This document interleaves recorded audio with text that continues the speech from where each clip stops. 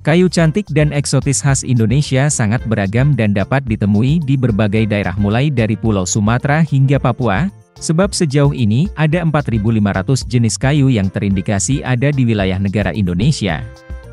Kayu eksotis khas Indonesia juga sangat terkenal hingga ke luar negeri. Kayu eksotis khas Indonesia terkenal karena kualitas dan daya tahan dari kayunya, yang beberapa di antaranya memiliki kandungan anti rayap.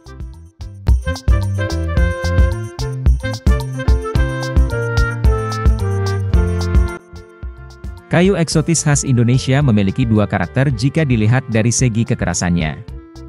Yang pertama jenis kayu lembut atau kayu dengan tingkat kekerasan sedang, dan kayu keras yang memiliki fisik yang sangat keras dan kerap kali kayu keras dijadikan tiang bangunan besar.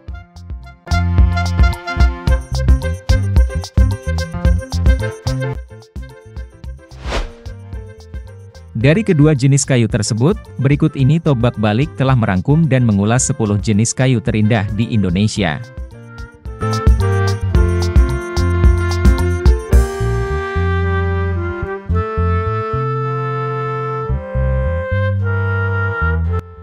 Bukanlah tanpa alasan kenapa kayu ini diberi nama kayu kamper. Hal ini dikarenakan pohon kayu kamper memiliki aroma khas yang cukup menyeruak. Wanginya harum saat dicium, seperti harum kamper. Pohon kamper bisa tumbuh sampai 30 meter dengan diameter hingga 1,4 meter. Serat atau urat kayunya membentuk garis lurus namun sedikit bergelombang, dengan tekstur yang sedikit kasar dibandingkan kayu bengkirai. Dari segi warna, kayu kamper memiliki warna yang nyaris serupa dengan kayu mahoni. Umumnya kayu kamper berwarna coklat muda, dan memiliki aksen abu-abu, merah atau hijau zaitun. Meski teksturnya agak kasar, kayu kamper memiliki permukaan yang mengkilap dan mampu memantulkan cahaya. Hal inilah yang membuatnya populer digunakan untuk material perabot.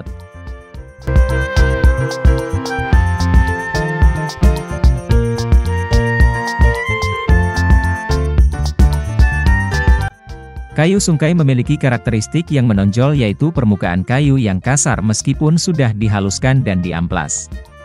Kayu ini memiliki serat sekitar 0,50 kg per meter kubiknya.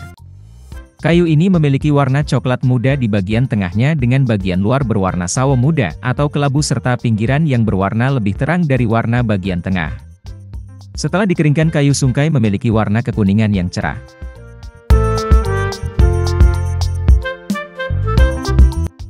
Meskipun memiliki permukaan yang kasar, serat-serat dari kayu sungkai menghasilkan motif yang cantik sehingga cocok digunakan untuk bahan furnitur bergaya minimalis.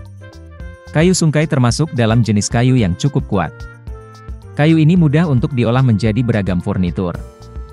Hal ini yang menyebabkan harga kayu sungkai lebih terjangkau.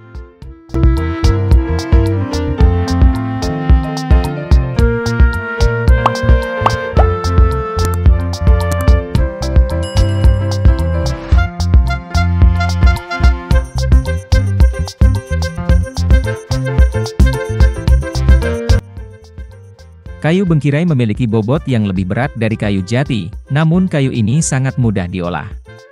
Kayu bengkirai dapat diukir, dipotong dan diserut dengan mudah sehingga menjadi favorit pada pengrajin kayu dalam pembuatan meja dan kursi eksterior.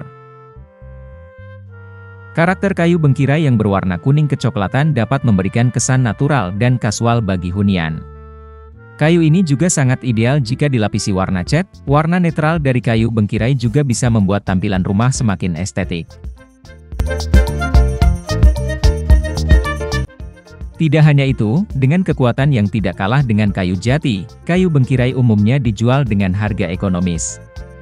Sehingga sangat direkomendasikan bagi Anda yang ingin mempercantik hunian dengan konsep rustic atau natural dengan budget minim. Dengan keunggulan-keunggulan yang ditawarkan tersebut, kayu bengkirai menjadi material sempurna untuk dijadikan bahan eksterior rumah, maupun furnitur khusus outdoor.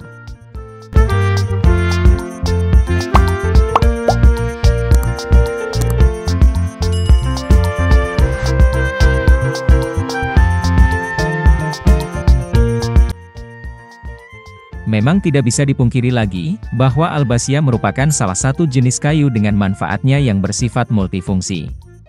Itu artinya, kayu albasia ini bisa dijadikan untuk kebutuhan apa saja. Tak cuma itu, bagian teras kayu albasia ini tampil dengan warna kuning mengkilap hingga coklat, merah dan gading. Sehingga tak heran jika kayu albasia dapat dilakukan proses finishing dengan menambahkan cat kayu agar tampilannya lebih menarik.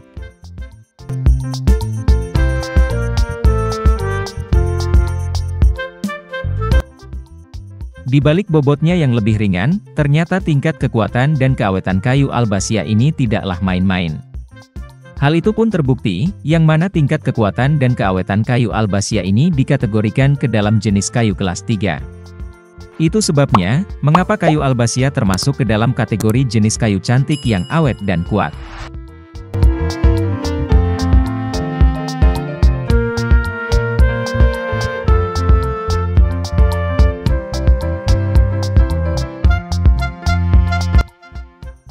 Kayu trem besi adalah salah satu jenis kayu yang populer di Indonesia. Dengan guratan serat yang cantik dan warna yang menarik, jenis kayu ini sering digunakan untuk berbagai keperluan. Salah satunya perabotan rumah tangga, keunikan dari kayu ini terletak pada pola seratnya yang elegan dan alami. Kayu trem besi memiliki serat yang kuat dan tahan lama, sehingga cocok digunakan sebagai bahan pembuatan furnitur dan barang-barang kerajinan. Selain itu, kayu trembesi memiliki warna dan tekstur yang menarik, yang membuatnya sering digunakan sebagai bahan dasar untuk membuat furnitur modern dan kontemporer.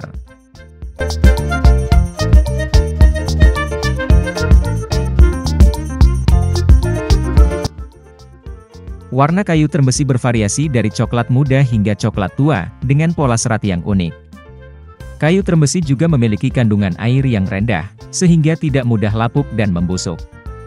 Hal ini menjadikan kayu terbesi sebagai pilihan yang ideal untuk bahan bangunan dan pembuatan furnitur.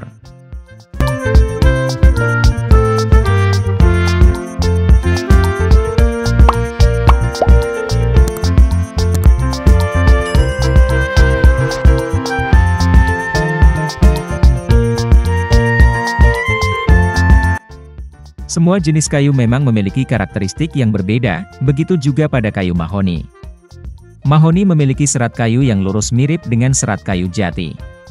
Dengan serat lurus menjadikan mahoni mudah untuk diolah dalam banyak model tanpa merusak keindahannya, inilah mengapa kayu mahoni banyak dijadikan pengganti selain jati.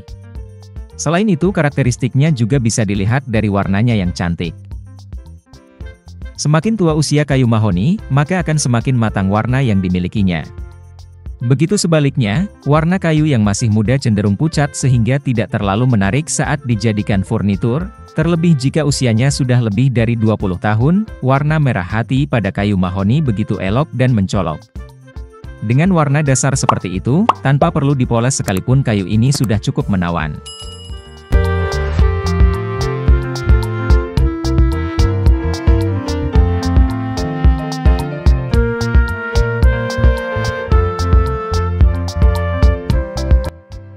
Secara umum, tekstur dari meranti merah tidak jauh berbeda dengan kayu jati, yaitu sama-sama memiliki tekstur keras.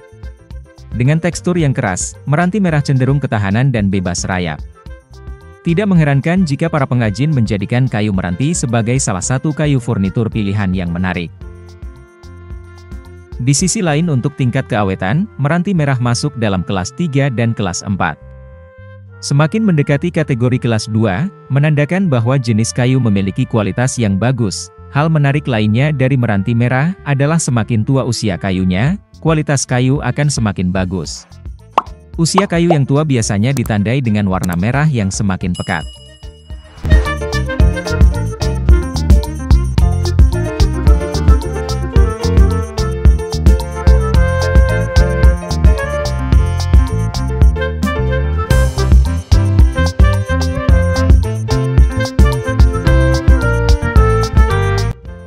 Di masyarakat kayu hitam lebih dikenal dengan sebutan ebony.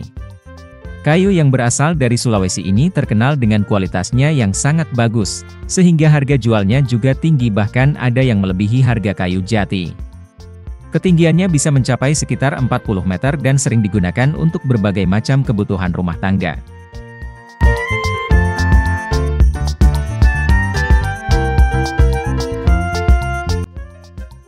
Salah satu manfaat utama dari kayu hitam atau ebony adalah sebagai bahan pembuatan furnitur. Karakteristiknya sangat awet dan solid dan sering menjadi buruan pecinta furnitur bermutu tinggi karena bisa dijadikan simbol status sosial dan kekayaan. Selain Indonesia, warga yang mempunyai ketertarikan tinggi terhadap material ini adalah negara Jepang dan Korea Selatan.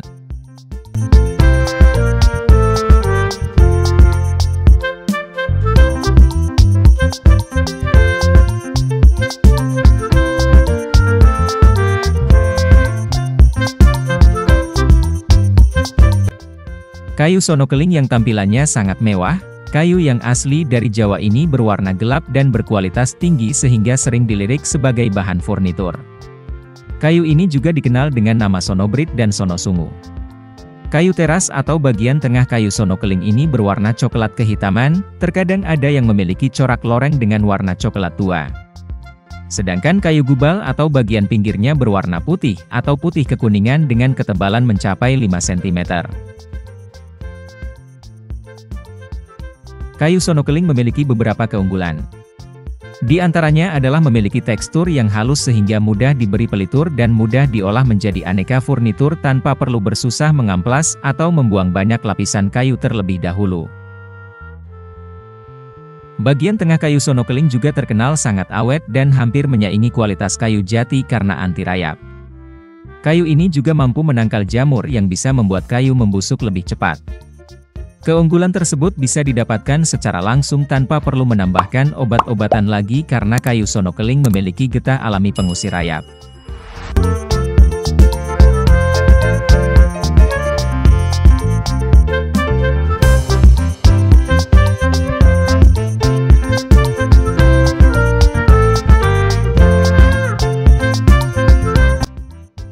Kayu jati dengan kekuatan dan keindahannya yang luar biasa, telah menjadi bahan konstruksi dan dekorasi yang sangat dihormati di seluruh dunia. Dikenal dengan ketahanannya yang luar biasa terhadap cuaca dan serangga. Kayu jati menjadi pilihan utama untuk berbagai keperluan, mulai dari pembuatan furnitur hingga konstruksi bangunan. Kayu jati berasal dari pohon jati Tectona grandis yang tumbuh di daerah tropis, terutama di Asia Tenggara. Sejarah penggunaan kayu jati dapat ditelusuri kembali ke zaman kuno, di mana kayu ini digunakan untuk membangun istana, kapal, dan perlengkapan rumah tangga yang berharga.